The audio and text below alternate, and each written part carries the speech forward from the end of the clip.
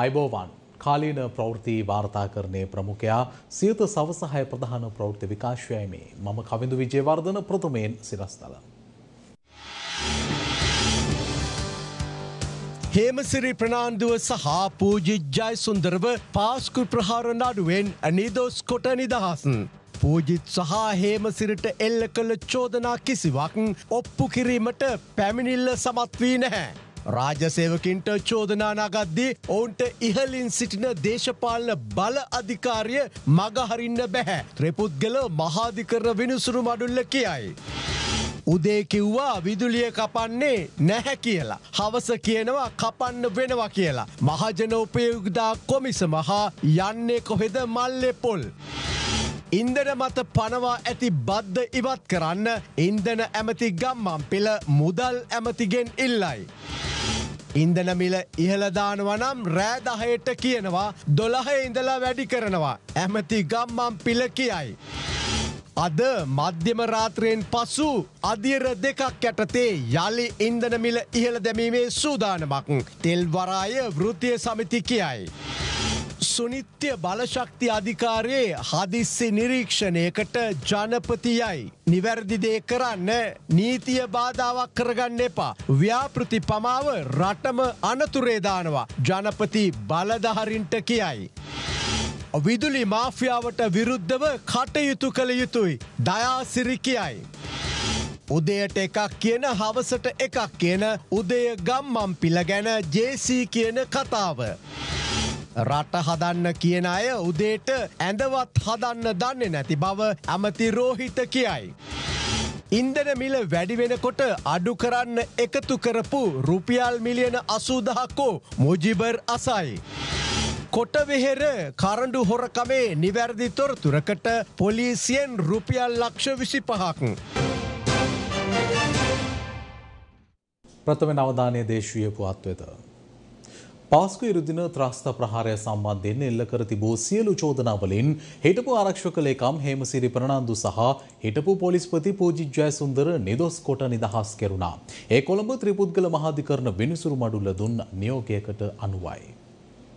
පාස්කු ප්‍රහාරය එල්ල වූයේ දෙදස් දහන මේ අප්‍රේල් විසියෙක් වනදායි. මේ ප්‍රහාරය කතෝලික දේවස්ථාන තුනක් සහ ප්‍රධාන පෙළේ හෝටල් තුනක් ඉලක්ක කරගෙනයි සිදුවයේ. මෙම මරාගෙන මැරුණු බෝම්භ ප්‍රහාරවලින් දෙසිය හැත්තෑවකට ආසන්න පිරිසක් මිය ගියා. අති විශාල පිරිසක් තුවාල ලැබවා. අදත් ආභාතිතව දුක්විඳෙන විශාල පිරිසක් ජීවත් වනවා. මේ මහා අපරාධය සම්බන්ධයෙන් සැවීමට ජනාධිපති කොමිසමක්ද පත් කෙරුණ. අවසානය එවකට සිටි ආරක්ෂක ලේකම් හේමසිරි ප්‍රනාන්දු මහතාට සහ එවකට සිටි පොලිස්පතිවරයාට එරහිව නඩු පවරනු ලැබවා. ඔවුන් දෙදනාට එරහිව එල්ල වූ චෝදනා සංඛ්‍යාව අටසිය පනස් පහක්. තොරතුරු ලැබී තිබියදීත් පුද්ගලින් දෙසිය හැත්තෑ පස් දෙනෙකුට මරණය සහ. පන්සිය දෙනෙකුට ආසන්න පිරිසකට තුවාල සිදු කිරීම වලක්වා ගැනීමට ක්‍රියා කළේ නැති බවට නීතිපතිවරයා චෝදනා කර තිබුණා. මාසහයක් පුරා ඉතා කැපවීමෙන් මෙම නඩුව විභාග කර අවසන් කිරීමට ත්‍රිපුද්ගල මහාධිකරන විනිසුඩු මඩුල්ල ක්‍රියා කලා.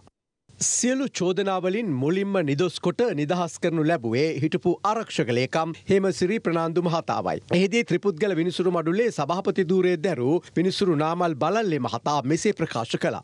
විත්තිකරුවෙකුට නොකර හැරීම සම්බන්ධයෙන් චෝදනා කරන විට නොකර හැරීම යන්න තහවුරු කිරීම සඳහා චේතනාවක් තිබූ බව ඔප්පු කළ යුතුයි. එහෙත් මෙහිදී විත්තිකාර හෙමසිරි ප්‍රනාන්දු මහතා චේතනාන්විතව පැහැරහැරීමක් සිදුකර ඇති බව ඔප්පු ඔප්පු කිරීමට පැමිණිල්ල අසමත් වී තිබෙනවා යනුවෙන් සඳහන් කළා.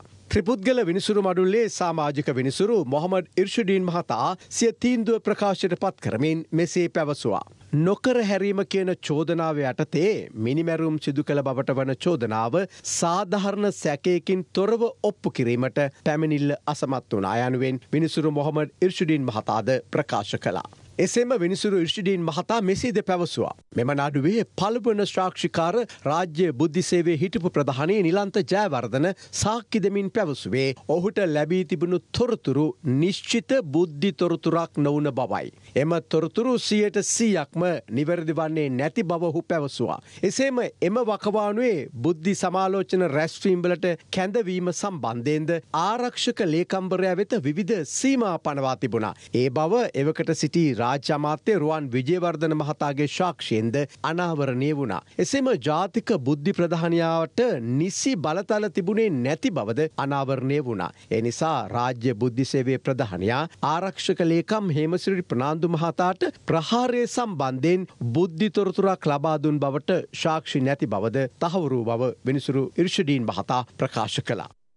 මෙම ප්‍රහාරය සම්බන්ධයෙන් මුලින්ම දෙදස් දහනම්ය අප්‍රේල් මස හතරවනදා විදේශයකින් තමන්ට තොරතුරක් ලැබුණු බව රාජ්‍ය බුද්ධිසේවයේ ප්‍රධානය ප්‍රකාශ කළා. එම තොරතුරු බොද්ධි තොරතුරක් බවට පරිවර්තනය කර ගැනීම සඳහා තමන් විසින් ගනු ලැබූ ක්‍රියාමාර්ග රාජ්‍ය බුද්ධිසේවයේ ප්‍රධානයා විසින් අධිකරණය හමුවේ පැහැදිලි කළේ නැහැ. ඔහු සඳහන් කරන්නේ මෙම තොරතුරු තමන්ට විදේශයකින් ලැබුණු බව පමණයි. රාජ්‍ය බුද්ධිසේවයේ ප්‍රධානයා විසින් තමන්ට ලබාදුන් තොරතුරු තොරතුරු අවශ්‍ය පියවර ගැනීම සඳහා විත්තිකාර ආරක්ෂක ලේකම්වරයා විසින් පොලිස්පතිවරයා වෙත යොමු කර තිබෙනවා. එම නිසා විත්තිකාර හිටපු ආරක්ෂක ලේකම්වරයා නොකර හැරීමක් සිදු කළ බවට එල්ල කරන චෝදනාව ඔප්පු කිරීමට ප්‍රබල හා කාවදින ශාක්ෂි ඉදිරිපත් වී නැහැ. මෙම නඩුව ගොුණු කිරීමට පෙර ඒ පිළිබඳව දෙවරක් සිතා බලන්න තිබුණා යනුවෙන්ද විනිසුරු ඉර්ෂුඩීන් මහතා ප්‍රකාශ කලා. සිය තීන්දුව ප්‍රකාශයට පත් කළ ත්‍රිපුද්ගල මහදිකරන විනිසුරු මඩුල්ලේ සාමාජික විනිසුරු ආදිත්‍යය පටවැඳගේ මහතා. මෙම නඩුවේ පළමු ශාක්ෂිකරු වශයෙන් ශාක්ෂිදුන් රාජ්‍ය බුද්ධිසේවේ හිටපු ප්‍රධානයා සිය වගකීම පැහැරහැර එය ජාතික බුද්ධි ප්‍රධානයා මත පැටවීමට කටයුතු කළ ආකාරයක් පෙනි යන බව සඳහන් කළා. සිද්ධිය වූ වකවානුවේ රටේ පැවති දේශපාලන වාතාවරණය හා රජය තුළ පැවති අර්බුද පිළිබඳව ශාක්ෂ විභාගේදී කරුණු අනාවරණය වුණ. වුණා. එම තත්ත්වය හමුවේ තීරණ ගැනීම සම්බන්ධයෙන් විත්තිකාර හිටපු ආරක්ෂක ලේකම්වරයා අස්සරණ තත්ත්වයක පසූ බවත් පෙනී යනවා. පාස්කු ඉරිදින එල්ල වූ ත්‍රස්ත ප්‍රහාරය ඉතා සංවේදී කරුණක්. එම ප්‍රහාරයෙන් කිතුුණු භක්තිකින් විශාල පිරිසක් මිය ගියා. තවත් පිරිසක් තුවාල ලැබවා. තවත් පිරිසකට දෙමාපියන් හා ඥාතින් අහිම වුණා. සංවේදී කරුණක් සම්බන්ධයෙන් නිස්සි විමර්ශනයකින් තොරව කවර හෝ පුද්ගලයකුට නඩු පැවරීම අනුමත කරන්න බැහැ. රාජ්‍ය නිලධහරින්ට අපරාධ චෝදනා එල්ල කිරීමේදී වඩා ප්‍රවේශම්කාරී විය යුතුයි. දේශපාලන අධිකාරයක් පවතිද්දී රාජ්‍ය නිලධහරින්ට පමණක් මෙලෙස නඩු පැවරීම යුක්ති සහගත නෑ. එම නිසා මේ නඩුවේ පළමු ශාක්ෂිකාර රාජ්‍ය බුද්ධිසේවේ හිටපු ප්‍රධානයාගේ ශාක්ෂිය මෙහෙවීමෙන් පසුව අනාවරණය වූ කරුණු ඔස්සේ මෙම නඩුව තවදුරටත් පවත්වගෙන යනුවද නැද්ද යන්න තීරණය කිරීමට පවා පැමිණිල්ලට හැකියාවක් තිබුණා. නඩුවේ විත්තිකරු අත්තඩංගොට ගැනීම පවා ගැටලු සහගතයි යනුවෙන් මිනිසුරු ආදිත්‍යය පටබැඳගේ මහතා විවෘතාධිකරණයේ ප්‍රකාශ කලා. එන අනතුරුව පූජි ජයසුන්දර මහතාට එරහිව නඩුවේ තීන්දුව ප්‍රකාශයට පත් කළ ත්‍රිපුද්ගල විනිසුරු මඩුල්ලේ සභාපතේ විනිසුරු නාමල් බලල්ලේ මහතා ප්‍රහාරයක් එල්ලවන බවට තොරතුරු ලැබී තිබුණද එම ප්‍රහාරය එල්ලවන දිනය හා ස්ථානය පිළිබඳ නිශ්චිත තොරතුරු ඉදිරිපත් කිරීමට රාජ්‍ය බුද්ධිසේවේ ප්‍රධානයා අසමත්ව තිබූ බව සඳහන් කලා. පළමු ශාක්ෂිකාර රාජ්‍ය බුද්ධිසේවේ හිටු ප්‍රධානයා සිය ශාක්ෂිවලින් කොළඹ තදාසන්න ප්‍රදේශවල ස්ථාන අටකට ප්‍රහාර එල්ලවන බවට සඳහන් කර තිබුණා. එහෙත් එම තොරතුරුවලින් පල්ලිවලට හෝ හෝටල්වලට ප්‍රහාර එල්ල කරන බවට සඳහන් කර තිබුණත් එම ස්ථාන පිළිබඳව නිශ්චිතව සඳහන් කර තිබුණේ නෑ. එවැනි තොරතුරක් සම්බන්ධයෙන් විත්තිකාර පොලිස්පතිවරයාට ප්‍රායෝගික පියවරක් ගැනීම අපහසුයි. මෙම බෝම්බ පිපිරීම් මාලාව කෙටි කාලයක් තුළ සිදුව ඇති බව ශාක්ෂි මගින් අනාවරණය වුණා. ඒ අනුව විත්තිකරුට ලැබුණු තොරතුරු මත එය වලක්වා ගැනීමට ප්‍රමාණවත් කාලයක් තිබූ බව පෙනී යන්නේ නැහැ. එමෙන්ව ප්‍රහාරය සම්බන්ධයෙන් රාජ්‍ය බුද්ධිසේවේ නිවැරදි තොරතුරු සැපීමට අපහොසත් වී තිබෙන බවත් ශාක්ෂිවලින් පෙනී යනවා. විනිසුරු නාමල් බලල්ලේ මහතා සඳහන් කලා. විනිසුරු ආදිත්‍යය පටපැඳගේ මහතා සිය තීරණය ප්‍රකාශයට පත් කරමින් ප්‍රහාරයක් කෙල්ලවීමට නියමිත බවට රාජ්‍ය බුද්ධිසේවේ හිටපු ප්‍රධානී නිලන්ත ජයවර්ධන ලබාදුන් තොරතුරු විත්තිකාර හිටපු පොලිස්පතිවරයා විසින් ඔහු යටතේ සිටිය නිලධහරින් වෙත අවශ්‍ය පියවර ගැනීම සඳහා යොමු කර තිබූ බව සාක්ෂිවලින් අනාවරණය වූ බව සඳහන් කළා. ආරක්ෂක කරුණු සම්බන්ධයෙන් පළමු ශාක්ෂිකාර රාජ්‍ය බුද්ධිසේවේ හිටපු ප්‍රධානයා විසින් රාජ්‍ය නායකයා දැනුවත් කරන බවත් ශාක්ෂිවලින් අනාවරණය වුණා. රාජ්‍ය බුද්ධිසේවේ ප්‍රධානයා ශ්‍රී ලංකා පොලිසියේ බුද්ධිසේවේ ප්‍රධානයා නොව ඔහු රාජ්‍ය බුද්ධිසේවේ ප්‍රධානයයි. ප්‍රහාරය සම්බන්ධය නොහුට ලැබුණු තොරතුරු පිළිබඳ ඔහු විසින් යුද හමුදා බුද්ධ්‍යංශය ඇතුළු ත්‍රවිධ හමුදාව සමග සාකච්ඡා සාකච්ඡා කර නැහැ. එවැනි තොරතුරු හෝමාරුවක් සිදු කිරීමට ඔහුට හැකියාව තිබුණා. එසේ නොකිරීම ගැටලු සහගත තත්ත්වයක්. මෙම සිදුවීම් මාලාව හොඳින් දන්නා පුද්ගලයකු තමයි එවක හිටපු ආරක්ෂක ලේකම්බරයා. එහෙත් පැමිණිල විසින් ඔහු ශාක්ෂයට කැඳෙව්වේ නෑ. හිටපු ආරක්ෂක ලේකම්බරයක් ශාක්ෂයට කැඳෙව්වොත් පැමිණිලට අවාසිදායක හෝ විත්‍යයට වාසිදායක ශාක්ෂයක් ඉදිරිපත්වීම හේතුවෙන් එය සිදු කර නැති බවයි පෙනී යන්නේ යනුවෙන් සඳහන් කළ විනිසුරු ආදිත්‍ය පටපැඳිගේ මහතා සමස්ත ශාක්ෂි විශ්ලේෂණය කිරීමේදී අදාළ මරාගෙන මැරණ බෝම්බ ප්‍රහාරය එල්ල කිරීම සඳහා ජාතික තවහි ජමත් සංවිධානය නායක සහරන් හශීම් ඇතුළු ඔහුගේ අනුගාමිකින්ට විත්තිකාර හිටපු පොලිස්පතිවරයා විසින් ආධාර අනුබලදීමක් සිදුකර ඇති බවට ප්‍රබල ශාක්ෂි ඉදිරිපත් කිරීමට පැමිණිල්ල අපොහොසත් වී ඇති බව සඳහන් කළා. එ අනුව විත්තිකාර හිටපු පොලිස්පතිවරයාද විත්තියේ ශාක්ෂි කැඳවීමකින් තොරව නිදොස්කොට නිදහස් කරන බවයි ත්‍රිපුද්ගල විනිසුරු මඩුල්ල සඳහන් කළේ. නඩු තීන්දුව ප්‍රකාශයට පත්කිරීමෙන් අනතුරුව අධිකරණ හමේ කරු දැක්වූ ත්‍රිපුද්ගල විනිසුරු මඩුලේ සභාපති විනිසුරු නාමල් බලල්ලේ මහතා. මෙම නඩුව වසර දෙකහමාරක් පමණ ඇදකට යාමට තිබූ නඩු දෙකක්. එහෙත් එය මාස හතක් වැනි කෙටි කාලයක් තුළ අවසන් කිරීමට අපට හැකි වුණා. ඊට මගේ සහෝදර විනිසුරුවරු දෙදෙනත් රජයේ නීතිඥවරු විත්තියේ නීතිඥවරු සහ අධිකරණ කාර්යමණ්ඩලේ ලබාදුන් සහයට ස්තුතිය පල කරනවා. යුක්තිය ඉටු කිරීමේදී සියලු පාර්ශව සතුටු කරන්න බැහැයනුවෙන්ද මිනිසුරු නාමල් බලල්ලේ මහතා සඳහන් කර සිටියා.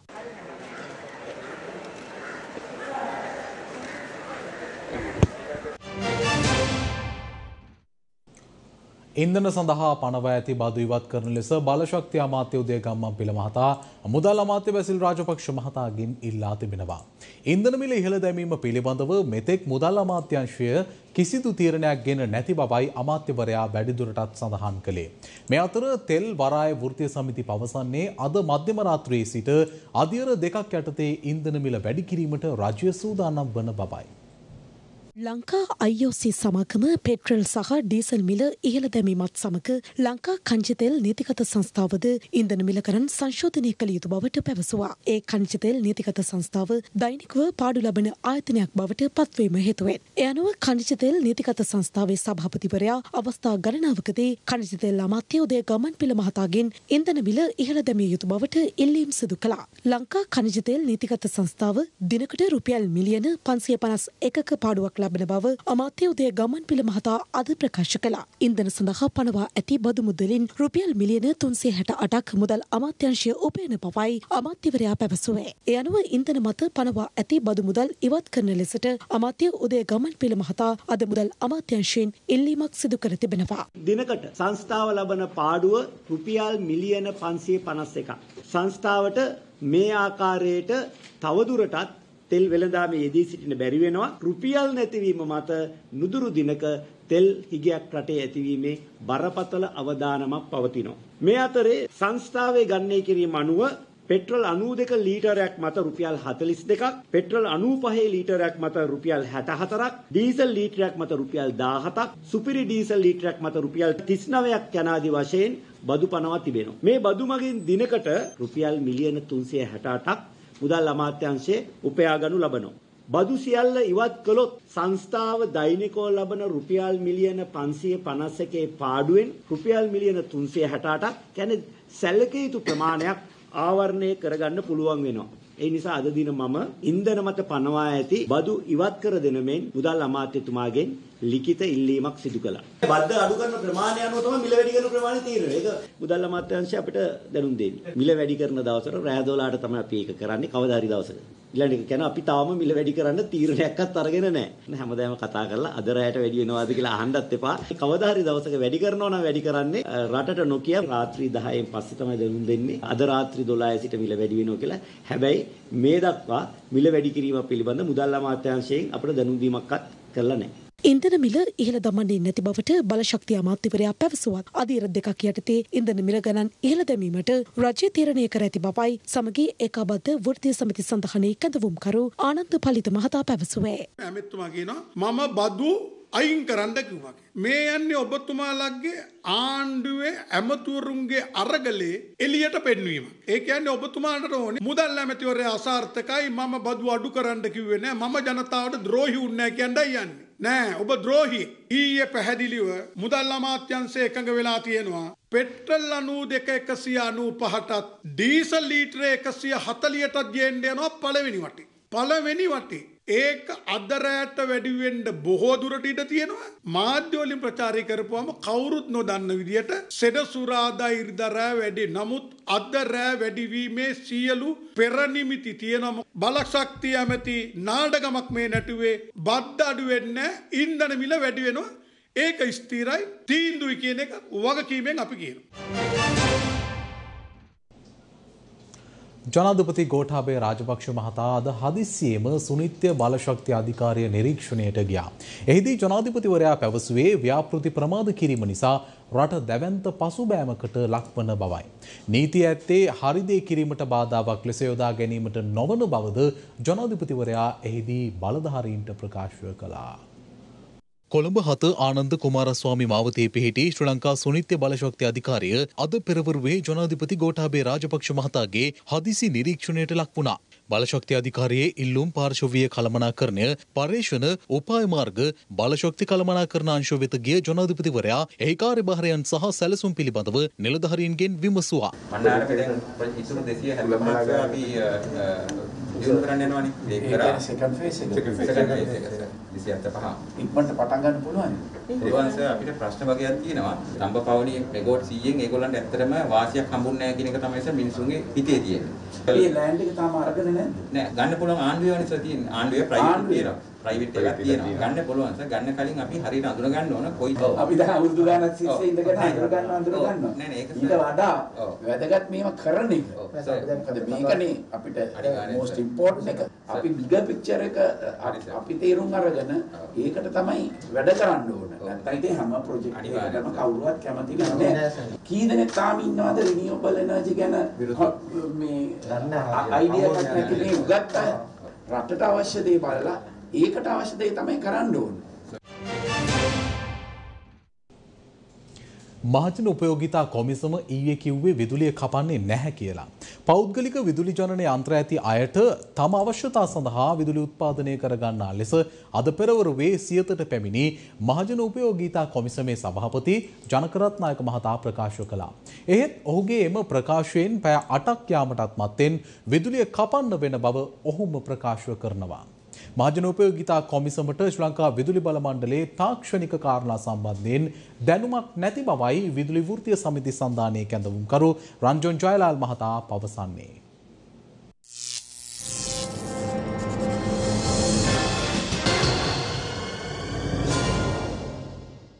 අප දිගින් දිගටම මාධ්‍ය ආයතනයක් ලෙස ප්‍රකාශ කළේ අපේ රටේ පායන කාලෙදී විදුලි කප්පාදුව සෑම වසරකම සිදුවන බවයි. ජලවිදුලිය නැතිවන කාලයට ඉන්ධන සහ ගල්ලඟුරු වලට යන පිරිවැය වැඩි වෙනවා. මේ කාලයේදී තමයි විදුලි බල මණ්ඩලයේ බොහෝ බලගතු පුද්ගලයන් හදිසි මිලදී ගැනීම් වලට යන්නේ. ඕනම වෙලාවක විදුලි බල මණ්ඩලයට මෙගාවොට් 100ක් 200ක් 300ක් දෙන්න සූදානම් පෞද්ගලික විදුලි උත්පාදකයින් ඉන්නවා. හදිසි මිලදී ගැනීම් වලදී අතයට ගනුදෙනු එමටයි. හදිසි මිලදී ගැනීම් සඳහාද විදුලි බිඳවැටීම් සිදුවන්න පුළුවන් කියලා අප නිරන්තරයෙන් මතක් කළා. මහජන උපයෝගිතා කොමිසම මොන විදිහට නටන්න හැදුවත් බෙරපදය වයන්නේ විදුලි බල මණ්ඩලය කියලා අප නිරන්තරයෙන් අවධාරණය කළා. අද පෙරවරුවේ සියතට ආපු මහජන උපයෝගිතා කොමිසමේ සභාපතිවරයා පැවසුවේ විදුලි කප්පාදුවකට යන්නේ නැති බවයි. ජාතික පද්ධතියෙන් විදුලිය නොලැබෙන අවස්ථාවක තමයි අපි ස්ටෑන්ඩ් බයි ජෙනරේටර්ස් පාවිච්චි කරන්නේ. හැබැයි මේ තියෙන විශාල ජෙනරේටර්ස් ප්‍රමාණය අපතේ යවන්නේ නැතුව මේ වගේ අර්බුදකාරී තත්ත්වයක් තියෙන අවස්ථාවක අපි හිතනවා ඒ ජෙනරේටර්ස් වලින් තමන්ගේ විදුලිය තමන්ට ජනනය කරගන්න පුළුවන් නම් ජනන පද්ධතිය අපිට ජාතික පද්ධතියට එකතු කරන්නත් පුළුවන්. මේ ක්‍රම දෙකම වෙන්න පුළුවන්. දැන් අපි ඊයේ කරුණු ලැබුවේ මෙගාවොට්ස් 70ක පමණ ස්ටෑන් බයි ජෙනරේටර්ස් ප්‍රමාණයක් ඒ ව්‍යාපාරිකයන්ට තමන්ම විදුලිය ජනනය කර ගැනීමට අවස්ථාව දීලා ඊයේ හවස හතරත් හයත් අතර අපි මේ මෙගවට් හැත්තාව කියන ප්‍රමාණය ජාතික පදේ අයින් කර. විදුලි කප්පාදුවකින් තොරව අපිට ඉදිරියට යන්න ඕන නම් මේ වගේ ඕල්ටනේටිවස් මේ වගේ ලංකාපුරා විසිරී පැතිරී තියෙන මේ අයිඩල් වෙන මේ සම්පත් ප්‍රමාණය නිරපරාදේ පැත්තකින් තිලා තියෙන එක ජාතික පද්ධතියට අරගෙන එහෙම නැත්නම් තමන්ගේ අවශ්‍යතාව සපුරාගෙන මේ ඇතිවෙන හිගය කළමනායකරණය කරගෙන දීර්ඝකාලීන විදුලි කප්පාදුවකට තොරව ඉදිරියට යෑමේ අවස්ථාවක් හැකියාවක් අපිට තියෙනවා. නමුත් අද සවස පැවති ප්‍රවෘත්ති සාකච්ඡාවකදී විදුලි කප්පාදුවකට යාමට සිදුවන බවයි එම කොමිසමේ සභාපතිවරයා පැවසුවේ. අද දිනේදී විදුලි කප්පාදුවක් සඳහා යාමට සිදුවෙනවා. ඒ අනුව අද දෙකහමාරත් හයහාමාරත් අතර ABCD කියන කාණ්ඩ හතර යටතේ පැයක විදුලි කප්පාදුවක් සිදුවෙනවා. ඒ වගේම හයමාර ඉඳන් දහයමාර දක්වා විනාඩි 45ක් දක්වා දෙවෙනි මරටත් විදුලි කප්පාදුවක් සිදුවෙනවා. මේ තත්ත්වය අපි බලාපොරොත්තු නොවුන දෙයක්. අපිට වීකෙන්ඩ් එකේ මම හිතන්නේ ලොකු ප්‍රශ්නයක් ඇති වෙන්නේ නැති වෙයි. අද නයිට් පීක් එක ඒ කියන්නේ උපරිම ඉල්ලුම වෙනවා 2650ක්. මේක අපි බලාපොරොත්තු නොවුණු තත්ත්වයක්. ඉදිරි සුමානය දෙක තුන ඇතුළත සමනය කරගෙන දීර්ඝ විදුලි කප්පාදුවකට යන්නේ නැතුව මේ තත්ත්වය මගාරගන්න පුළුවන් වෙයි. ඇත්තටම මහජන උපයෝගිතා කොමිසමට විදුලි බල මණ්ඩලයේ තාක්ෂණික කාරණා සම්බන්ධව නිවැරදි අවබෝධයක් නැහැ කියලා විදුලි වෘත්තීය සමිති පවසනවා. දැන් මේ අද වෙනකොට කැලණිතිස්ස විදුලි බලාගාරේ සම්පූර්ණයෙන්ම නතරලා තිබෙනවා නැප්ත නැහැ, දැවිතෙල් නැහැ, ඩීසල් නැහැ. ඒතර බාච් එකට තව දවස් 3ක් වගේ තමයි දුවන්න පුළුවන් විදිහට තෙල් තියෙන්නේ. අනිත් පැත්තේ මහජනපිතා කොමිසම අකණ්ඩව දිගින් දිගටම කිව්ව දේ තමයි කිසිසේත්ම විදුලිය අපි කපන්න දෙන්නේ නැහැ කියලා. මහජන උපභෝගිතා කොමිසම විදුලිය කපන්න දෙන්නේ නැහැ කියලා කිව්වට සැලසුම් සහගතව විදුලි බල මණ්ඩලයට දුවන්න තෙල් නැත්තම් කපන්න නැතුව වෙන කරන්න දෙයක් නැහැ. මහජන පිතා කොමිසම එක පැත්තකින් දැන් කියා කීමෙන් යනවා විදුලි බල මණ්ඩල නියෝග දෙන්න දෙනවයි කියලා පෞද්ගලික අංශයට ස්වයං ජනනය සඳහා ඉඩකඩ සලසලා දෙන්න කියලා. ඒතර අපි දන්නවා ස්වයං ජනනයට දුන්න ගමන් විදුලි බල මණ්ඩලයෙන් අධික මිලක් ඒකකයට පෞද්ගලික අංශයට ගෙවන්න වෙනවා. එල් අර්බුදයට මේ මුල් අර්බුදය කරවටක් විදුලි බල මණ්ඩලයේ අනිවාර්යෙන් හිර වෙනවා.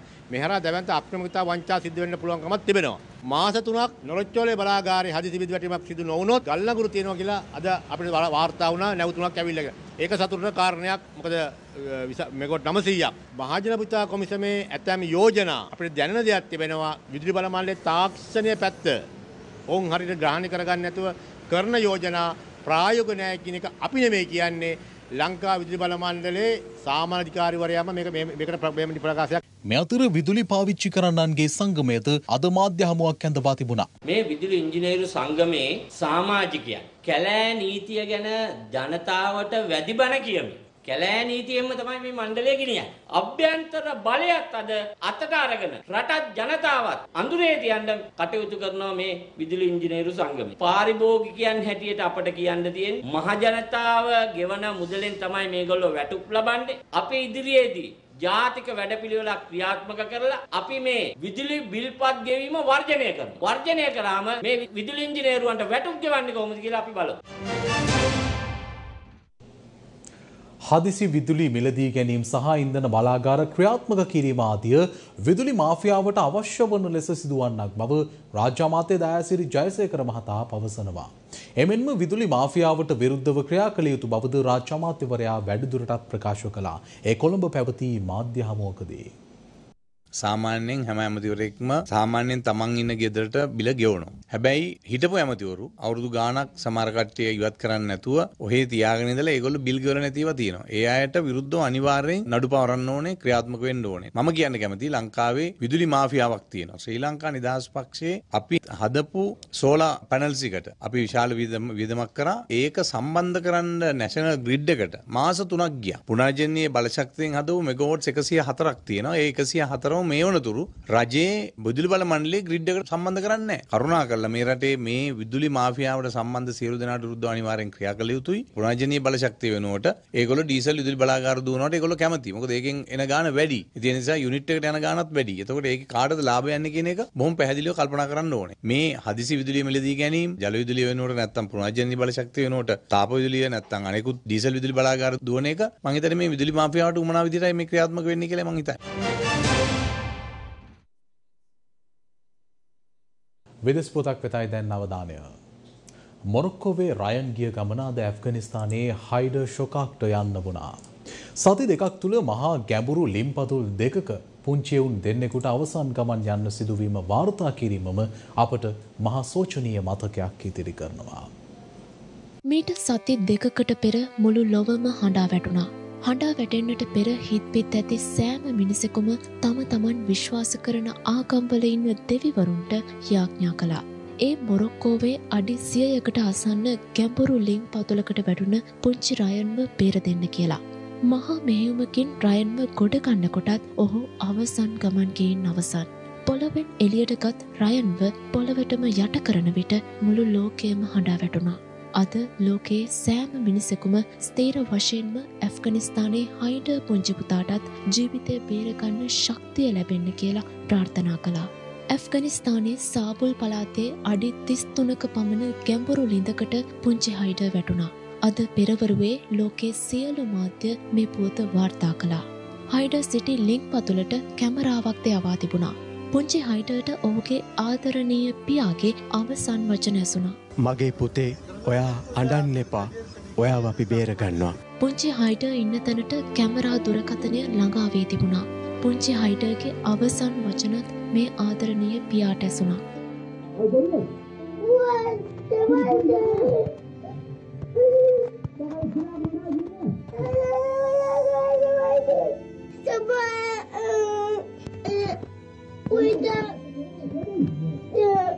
හරි මම දිගටම කතා කරන්නම්. කියලා කියපු පුංචි හයිඩව එලියට ගත්තා. එලියට ගන්නකොටත් හයිඩගේ හත ගැහුණා. ඒත් හයිඩ ආය කතා කරන්නේ නැහැ. ඒත් හයිඩගේ වචන මේ තාත්තගේ ජීවිතය පුරාම දෝංකාරදේවී. තාත්තගේ වචනත් හයිඩ ඉන්න තැනක හයිඩගේ හතවතේ තැන්පත් වෙලා ඇති. මේ වගේ රයන්ලා හයිඩලට ජීවිතය හැර යන්න සිදුවීම කඳුලක් ගෙනෙන්නේ නැත්තේ කාගයසටද.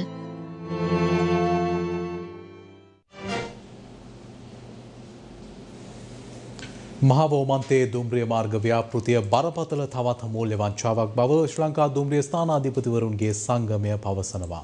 එසේම දැන් ඉදිකිරීම් ආරම්භ කළහොත් විශාල කාලයකට දුම්රිය මාර්ගය වසා දැමීමට සිදුවන බවද ඔවුන් පෙන්වා දෙනවා.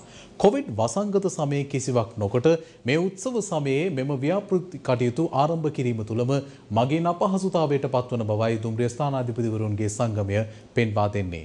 මෙම වංචාව වැළැක්වීම සඳහා වහාම මැදිහත් වන්නේයි සංගමය ජනාධිපතිවරයාගෙන් ඉල්ලා සිටිනවා. ඉන්දිය ණය ආධාර යටතේ මහව සිට ඕමන්තේ දක්වා දුම්රිය මාර්ගය නවීකරණය කිරීමේ ව්‍යාපෘතියක් ක්‍රියාත්මක වෙමින් පවතිනවා. එහි පළමු අදියර ලෙස අනුරාධපුර සිට ඕමන්තය දක්වා කොටසේ දුම්රිය ධාවනය අත්හිටුවා නවීකරණය කිරීමට සැලසුම් කර තිබෙනවා. මෙම නවීකරණ කටයුතු සඳහා ඉතා විශාල කාල පරිච්ඡේදයක් ගත වන බව දුම්රිය ස්ථානාධිපතිවරුන්ගේ සංගමය නිවේදනයක් මගින් පෙන්වා දෙනවා. ඒ හේතුවෙන් මහව කංකසන්තුරේ දුම්රිය ධාවන කටයුතු අත්හිටුවීමට කටයුතු කර ඇති අතර පසුගිය වසංගත තත්ත්වය හමුවේ දුම්රිය දහවනය සිදු නොවූ කාලපරාසය තුළ අදාළ නවීකරණ කටයුතු සිදු කිරීමට කටයුතු කළේ නම් මෙමගින් ජනතාව අපහසුතාවයට ලක් නොවන බවයි දුම්රිය ස්ථානාධිපතිවරුන්ගේ සංගමය පවසන්නේ.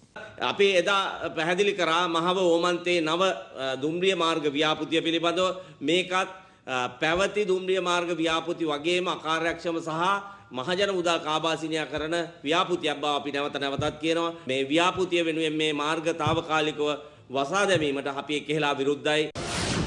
අනුරාධපුර ඕමන්තය අතර කොටස මාර්තු 5 වන දින සේවය නතර කරලා එම ප්‍රතිසංස්කරණ යොදා ගන්නවා.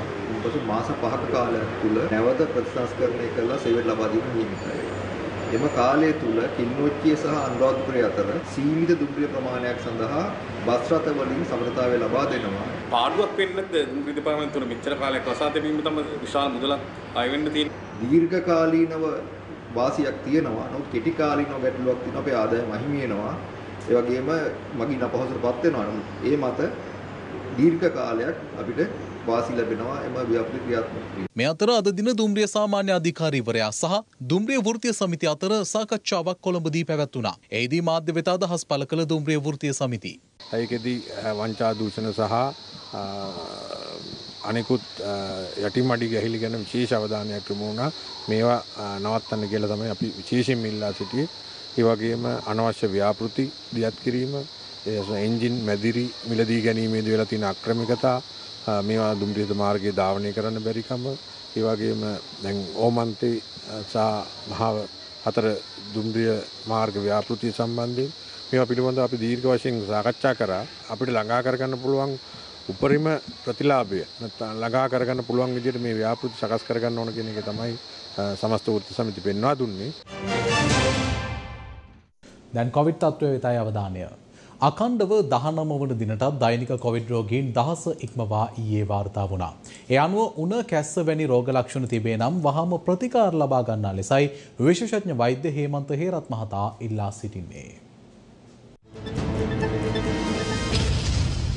අකණ්ඩව දහ නවවන දිනටත් දෛනික කොවිඩ් රෝගීන් දහස ඉක්මවා ඊයේ දිනත් වාර්තා වුණා. ඒ රෝගීන් එක් දහස් දෙසිය තිස් පස් දෙනෙකු ලෙසයි. ඒ අනුව ගත වූ දින දහ නවය තුළදී මෙරටින් වාර්තා වී ඇති කොවිඩ් ආසාධිතයින්ගේ සංඛ්‍යාව සටහන් වන්නේ විසි තුන්දහස් අනුවක් ලෙසයි.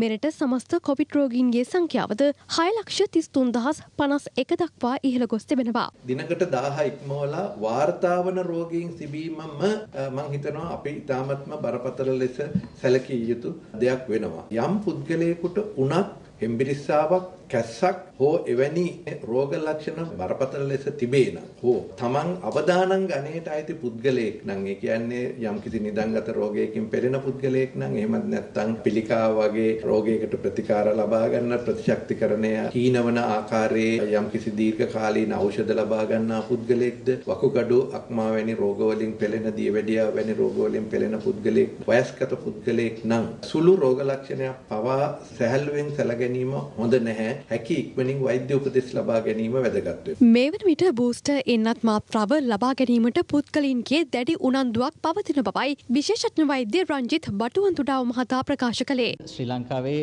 දිස්ත්‍රික්ක මට්ටමින් සලකා බැලීමේදී දිස්ත්‍රික්ක හතරක් මේ වන විට ඉලක්කගත කණ්ඩායම් වලින් 50කට එහා ප්‍රමාණය බූස්ටර් මාත්‍රාව ලබා දීලා තියෙනවා. වැඩිම ප්‍රතිශතයක් ලබා දීලා තියෙන්නේ මාතලේ දිස්ත්‍රික්කය, මහනුවර, අම්පාර සහ අනුරාධපුරය. මෙම දිස්ත්‍රික්ක හතරේම 50කට වඩා ඉලක්කගත කණ්ඩායමෙන් 50කට එහායින් මාතලේ දිස්ත්‍රික්කේ නම් 63ක්ම පමණ ලබා දීලා තියෙනවා. මේක ඉතාමත්ම හොඳ ප්‍රවණතාවයක්.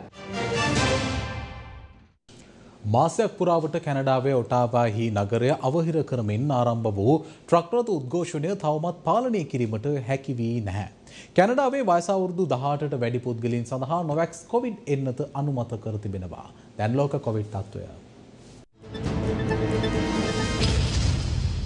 මාසයක් පුරාවට කැනඩාවේ ඔටාවාහි නගරය අවහිර කරමින් ආරම්භ වූ ට්‍රක්රත උද්ඝෝෂණය තවමත් පාලනය කිරීමට හැකිවී නැහැ.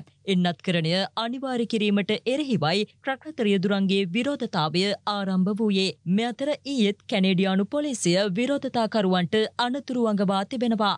මෙවන විටත් පාර්ලිමේන්තුව අවට නගර වීදිවල ට්‍රක්රත හාරසියකින් පමණ අවහිර කර ඇති බවයි එරට මාධ්‍ය වාර්තා කළේ. ඒ අනුව එම ප්‍රදේශයට ඇතුළුවීම ප්‍රදේශවාසීන්ට පමණක් සීමා කර තිබෙනවා. කැනේඩියානු පොලිසිය වැඩිතුරටත් සඳහන් කළේ විරෝධතාකරුවන් ඉවත් කරන්නේ කවදාද යන්න නිශ්චිතව කිව නොහැකි බවයි. වර්ජනය පාලනය කර ගැනීමට අපොහොසත්වීම නිසා ඔටාවාහි පොලිස් ප්‍රධානයාද මීට දින දෙකකට පෙර ඉල්ලා අස්වුනා. සික්‍රෙන් ව්‍යාප්ත වන ඔමික්‍රොන් ප්‍රබේදය හමුවේ ඉදිරි වසර දහය තුළ වෛරසය සමඟ ජීවත්වීමට සිදුවන බව එක්සත් ජනපද ඖෂධවේදී උග්‍රා සහින් පවසනවා. ඒ අනුව කොවිඩ් වෛරසය සමඟ ජීවත්වීමට හුරුවිය යුතු බවයි ඔහු කියා සිටියේ. මේ අතර යුරෝපයේ ආසාධතීන්ගේ අඩුවීමක් දක්නට ලැබුණත් එය අවසන් වෛරස් රැල්ල නොවන බවයි සහින් වැඩිදුරටත් කියා සිටියේ. කැනඩාවේ වයසවුරුදු දහටට වැඩි පුද්ගලින් සඳහා නොවැක්ස් කොවිඩ් එන්නත අනුමත කර තිබෙනවා. රඹුක්කන දැලිවල කොටවෙහෙර රජමහා විහාර භාරයේ තිබූ පුරාවිද්‍යාත්මක බහණ්ඩ සොරකම් පිළිබඳව නිවැරදි තොරතුරක් ලබා දෙන පුද්ගලයෙකුට රුපියල් ලක්ෂ 25ක මුදලක් පිරිනැමීමට පොලිස්පතිවරයා තීරණය කර තිබෙනවා. රඹුක්කන දැලිවල කොටවෙහෙර රජමහා විහාරස්ථානයේ තිබූ පුරා විද්‍යාත්මක බහණ්ඩ තොගයක් කිසියම් පිරිසක් විසින් පසුකිය එකොළොස් වනදා සොරකම් කර තිබුණා. රන් කරඩු පහක් සහ දම රන් කරඩුවක්ද ඊට අය. පලිඟු කරුණු තුනක් හා ධාතුන් වහන්සේලා තැන්පත් කර තබන මංජුසාවක්ද සොරකම් කර ඇති බවයි පොලිසිය ප්‍රකාශ කළේ. ඒ අනුව සොරකම් කළ අදාළ රන් කරුණු සම්බන්ධයෙන් නිවැරදි තොරතුරු ලබා දෙන පුද්ගලයෙකුට රුපියල් ලක්ෂ විසි පහක ත්‍යාග මුදලක් ලබාදීමටයි පොලිස් පතිවරයා තීරණය කර ඇත්තේ. එසේම ලබා දෙනු ලබන තොරතුරුවල රහස්‍ය භාවේද සුරකින බවයි පොලිසිය ප්‍රකාශ කළේ. මේ සම්බන්ධයෙන් නිවැරදි තොරතුරු තිරේ දිස්වන අංක ඔස්සේ ඔබට ලබා දිය හැකි. දැන්දේශපාලන වේදිකාවෙන් ඇසුණු කතා. දැන් ලංකාවට තෙල් නැවක් එන එක විශාල ප්‍රවෘත්තියක්. උන්න තෙල් නැවක් ආවා. තෙල් නැවක් කාම එක උතරම් ප්‍රබලද කිව්වොත් එහෙම ඇමතුරු දෙන්නෙක් යනවා ණයට ගෙනාපු තෙල් ටික බාර අපිට රට හදන්න ගියා දෙනවා. ඒ ගියා දෙන එක උදේ නැගලා උගේ හද හදා ගන්න දන්නේ. කොහොමත් ඉතින් තෙල් නැහැ කියලා ගුවම ෂෙඩ් එකේ බුල් ටැංක් කරගත්තම ටිකක් වෙලාවකට තෙල් නැහැ තමයි. මහ බැංකුව දෙදස් විස්සේ වාර්තාවේ තියෙනවා ආණ්ඩුව මිලස්ථායි කරමුදලක් හදලා රුපියල් මිලියන අසූ දාහක් ඒකේ එකතු වෙලා තියෙනවා දැන් අපි අහන්නේ රුපියල් මිලියන අසූදාහට වෙච්ච දේ කුමක්ද.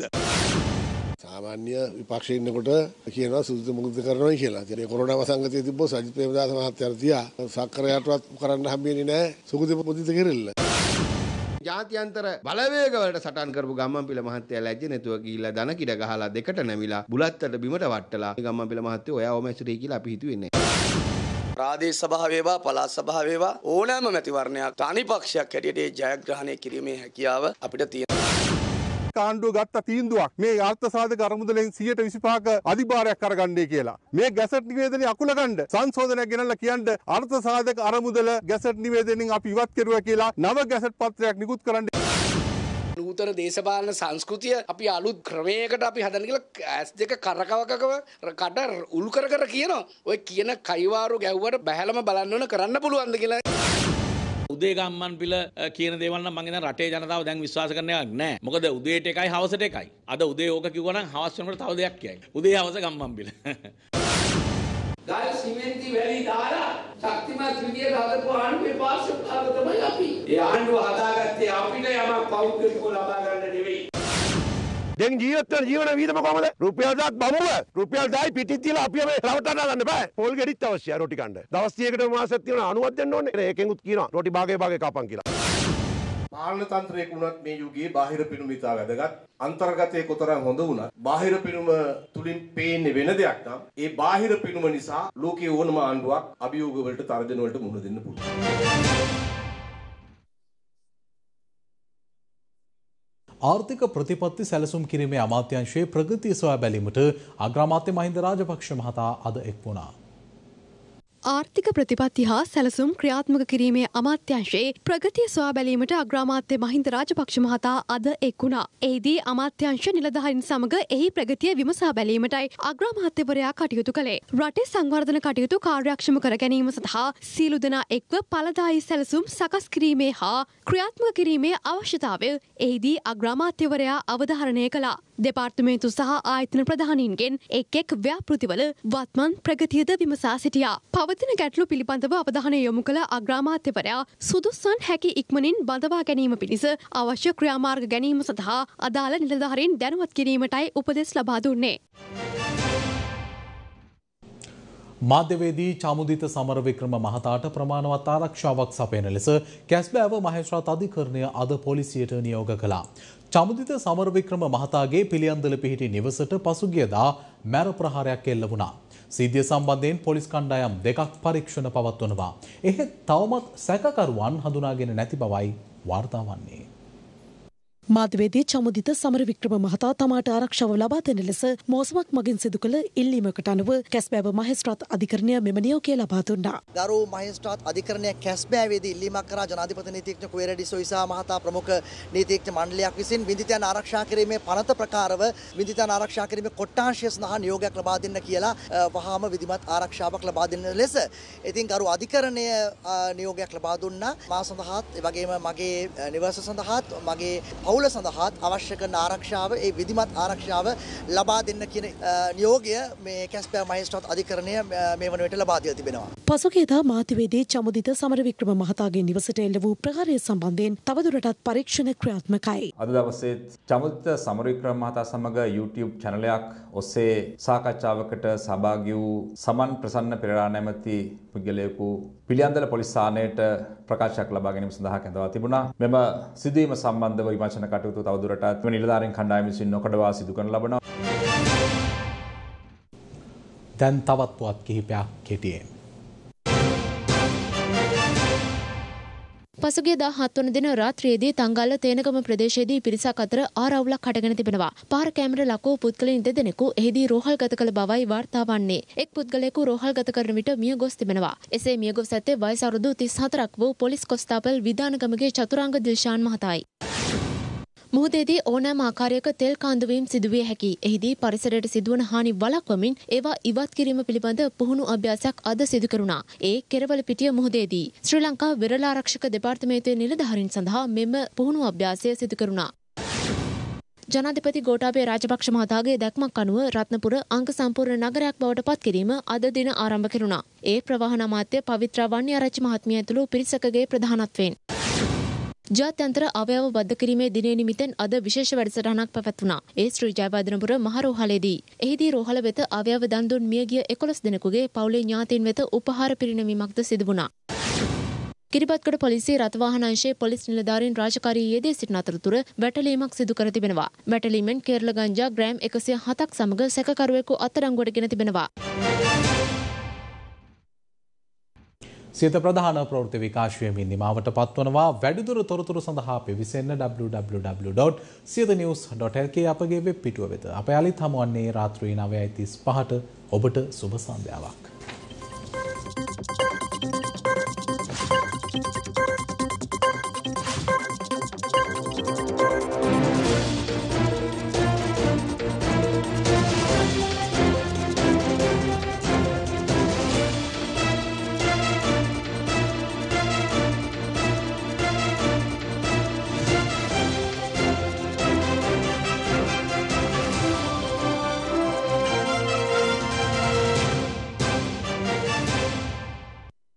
දෙනපතා අලුත් වීඩියෝ සහ ප්‍රවෘත්ති නැරඹීමට ඉහත බටන එක කලික් කර සියත TV සබස්ක්‍රයිබ් කරන්න.